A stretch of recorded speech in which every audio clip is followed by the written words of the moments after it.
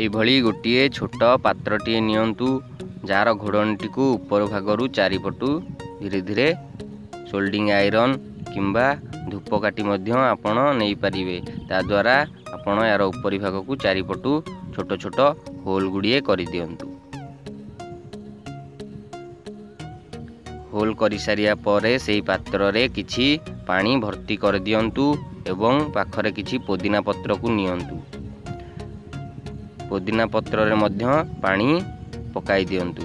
କାରଣ ପୋଦିନା ପତ୍ର ଗୁଡ଼ିକ ଯେପରି କାମ କରିବା ସମୟରେ ତାଜା ରହୁଥିବ। ଉପର ଭାଗକୁ ଗୋଟିଏ ଆଙ୍ଗୁଳ ଛାଡ଼ି ପାଣି ଭର୍ତ୍ତି କରନ୍ତୁ। ବର୍ତ୍ତମାନ ଆମେ ପୋଦିନାର ତଳ ଭାଗର ପତ୍ର ଗୁଡ଼ିକୁ ଛିଣ୍ଡାଇ ପକାଇଦେବା। ଦେଖନ୍ତୁ ଏଇଭଳି ଭାବରେ ଆମେ ପତ୍ର ଗୁଡ଼ିକୁ ଆସ୍ତେ ଆସ୍ତେ ଛିଣ୍ଡାଇବା। ଆପଣ କଇଁଚି ମାଧ୍ୟମରେ ମଧ୍ୟ ପତ୍ର ଗୁଡ଼ିକୁ କାଟିପାରିବେ। ଏହିପରି ପ୍ରାୟ ସମସ୍ତ ପତ୍ରକୁ ଆମେ ଧୀରେ ଧୀରେ ଛିଣ୍ଡାଇ ଦେବା।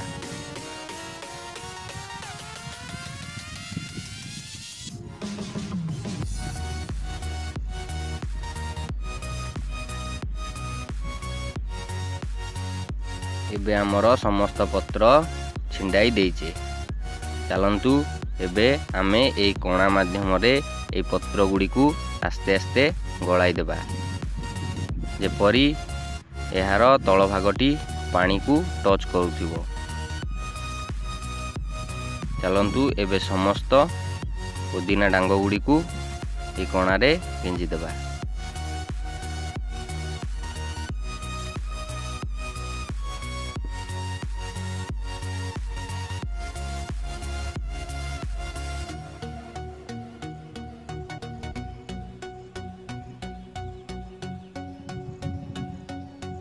ଏବେ ପ୍ରାୟ ସବୁ କଣାରେ ଆମେ ପୋଦିନା ଡାଙ୍ଗ ଗୁଡ଼ିକୁ ପୁରାଇ ଦେଇଛେ।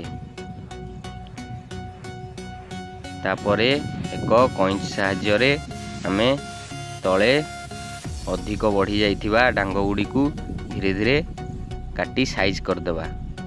ପ୍ରାୟ ସମ ସବୁ ପୋଦିନା ଡାଙ୍ଗ ଗୁଡ଼ିକୁ ଗୋଟିଏ ସାଇଜ୍ର ରଖିବା। ଯେପରି ଏହା ପାଣିକୁ ଟଚ୍ କରିବେ। ଚାଲନ୍ତୁ ଏବେ ଆମେ ବକ୍ସଟିକୁ ବନ୍ଦ କରିଦେବା। ତାପରେ ଆପଣ ଏକ ଦଉଡ଼ି ସାହାଯ୍ୟରେ ତାକୁ ବାନ୍ଧି କୌଣସି ଏକ ଛାଇ ଜାଗାରେ ଏହାକୁ ଓହଳାଇ ରଖିପାରିବେ। ଏହିଭଳି ଭାବରେ ଗୋଟିଏ ଛାଇ ଜାଗାରେ ଏହାକୁ ବାନ୍ଧି ଦିଅନ୍ତୁ। ଦେଖନ୍ତୁ ଏଇଭଳି ଭାବରେ ଏକ ଦିନ ରହିବା ପରେ ମଧ୍ୟ ଗଛ ଗୁଡ଼ିକ କିପରି ତାଜା ଅଛି ତାକୁ ପ୍ରାୟ ଦୁଇରୁ ତିନି ଦିନ ମଧ୍ୟରେ ଏହାର ପାଣିକୁ ମଧ୍ୟ ଚେଞ୍ଜ କରନ୍ତୁ। ଏବେ ଆମେ ତିନି ଦିନ ହୋଇଯାଇଛି ତିନି ଦିନରେ ଏବେ ଥରେ ଆମେ ଏହାର ପାଣିକୁ ଭଲ ଭାବରେ ଡବାଟିକୁ ସଫା କରି ତାର ପାଣିକୁ ଚେଞ୍ଜ କରିଦେବା।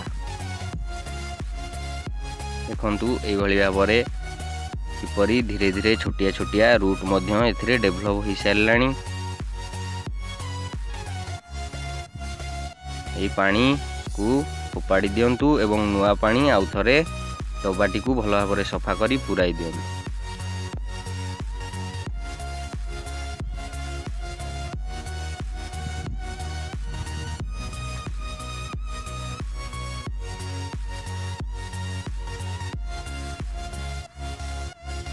ଡବାଟିକୁ ତଳ ଭାଗରୁ ସଫା ନ କଲେ ଡବାରେ ପ୍ରାୟ ଶିଉଳି ଲାଗିଯିବ। ତେଣୁ ଭଲ ଭାବରେ ସଫା କରି ପାଣି ଗୁଡ଼ିକ ପୁରାନ୍ତୁ। ପ୍ରାୟ ଦୁଇରୁ ତିନି ଦିନରେ ଥରେ ଲାଖେ ଚେଞ୍ଜ କରିବେ। ଏବେ ପ୍ରାୟ ସାତ ଦିନ ହୋଇଗଲାଣି। ସାତ ଦିନ ପରେ ଧୀରେ ଧୀରେ ପୋଦିନା ଗଛ ଗୁଡ଼ିକ ହାଇଟ୍ ମଧ୍ୟ ହୋଇଗଲେଣି।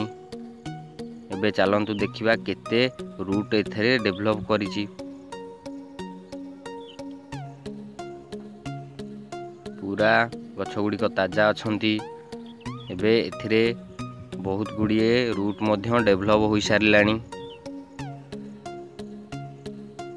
ଦେଖନ୍ତୁ ଭଲ ଭାବରେ ପ୍ରାୟ ସମସ୍ତ ଡାଙ୍ଗରେ ରୁଟ୍ ଡେଭଲପ୍ ହୋଇସାରିଲାଣି ଏବେ ଆମେ ୟାକୁ ଘୋଡ଼ାଇ ପୁଣି ଥରେ ଯେଉଁଠାରେ ବାନ୍ଧିଥିଲେ ସେଇଠାରେ ବାନ୍ଧିଦେବା।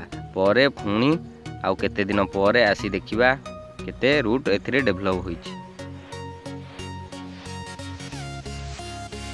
ଏବେ ପନ୍ଦର ଦିନ ପୁରି ସାରିଲାଣି। ପନ୍ଦର ଦିନ ପରେ ଦେଖିବା ଚାଲନ୍ତୁ କେତେ ଏଥିରେ ରୁଟ୍ ଡେଭଲପ୍ ହୋଇଛି। ଗଛ ଗୁଡ଼ିକ ମଧ୍ୟ ବହୁତ ବଡ଼ ହୋଇଗଲେଣି। ଦେଖନ୍ତୁ ପୂର୍ବ ପାଳି ଅପେକ୍ଷା ବହୁତ ଗୁଡ଼ିଏ ରୁଟ୍ ଏଥିରେ ଡେଭଲପ୍ ହୋଇଯାଇଛି। ଏବେ ଏଥିରୁ ଆପଣ ମଧ୍ୟ କାଟିକି ପୋଦିନାକୁ ଖାଇପାରିବେ।